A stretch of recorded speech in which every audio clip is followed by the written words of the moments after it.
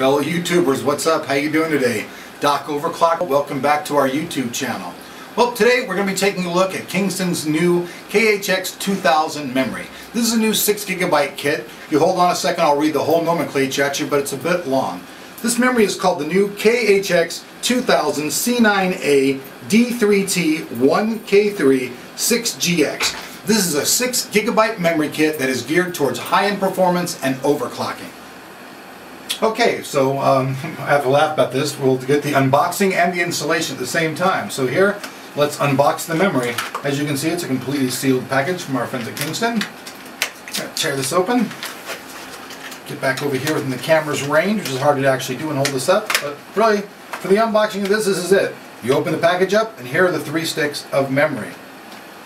Here's our motherboard. This is the ASUS P6X 58D Premium. That's the motherboard that we'll be using in most of our overclocking tests with the i7-980X from Intel.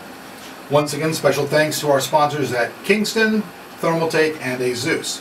So, going to open this up. Did you see right here, if the camera can get in here, we've opened up all the memory slots here. I'm going to go ahead and install the memory a little bit away from the cooler. I'm going to go ahead and just use these blue slots. They're just different channels. So what you do is you find the matching slot inside of here, camera can get that up a little close up up here. And then I just insert the memory. You want to make sure that the memory is firmly locked in place. Once the memory is fully locked, you know that it's installed correctly. So we're going to repeat this procedure in three. Ow, that hurt, boy. I'm a klutz. Two. And now three.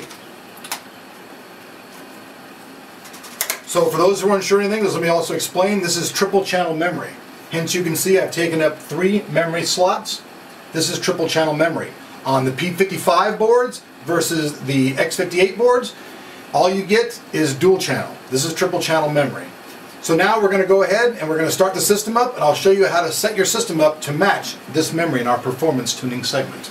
So follow along as we show you two different videos on this. We'll show you how to do performance tuning with this memory and also how to do overclocking. The first video we'll be doing is on performance tuning. So follow along as we show you how to install this memory and set it up so that it runs at the perfect speed in your PC. Thank you for watching our video. Make sure you check out our website and please remember to sign up for our free newsletter.